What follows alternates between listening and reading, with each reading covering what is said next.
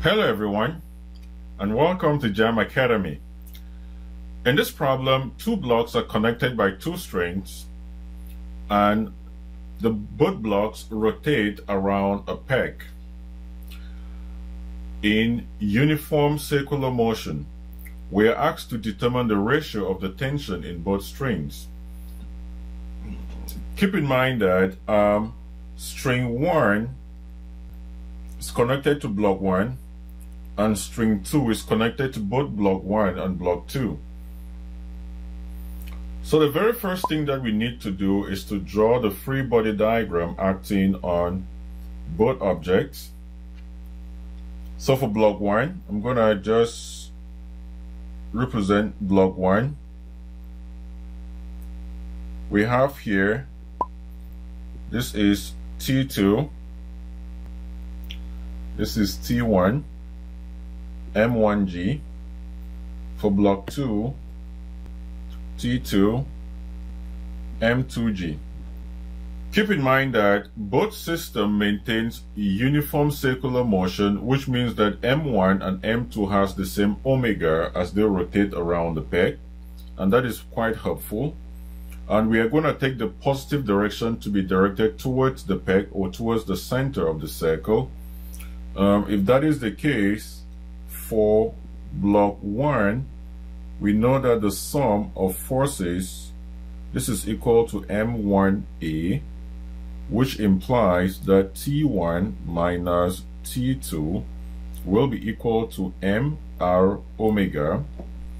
Now, for block 2, the summation of FR is equal to M2A, which implies that T2 is equal to M bracket 2r omega.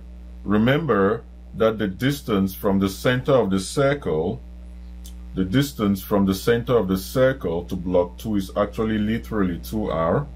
So this is going to be equal to 2mr omega squared.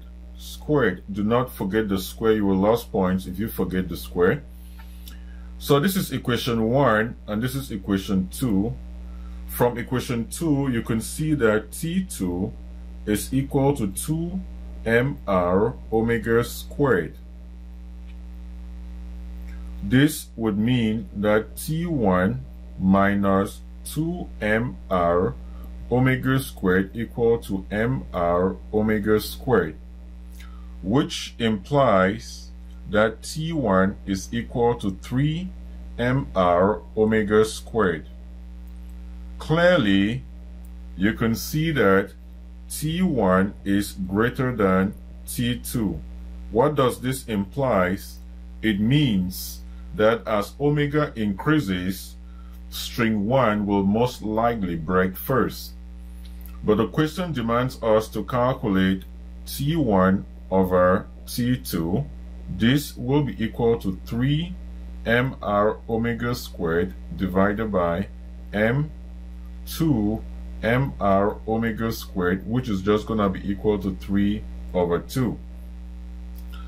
And this will be our answer. T1 over T2 is equal to 3 over 2. Well, thank you so much for your time. If you have any questions with regards to this problem, please ask your question in the discussion forum below this video. Remain blessed and see you next time. Bye bye.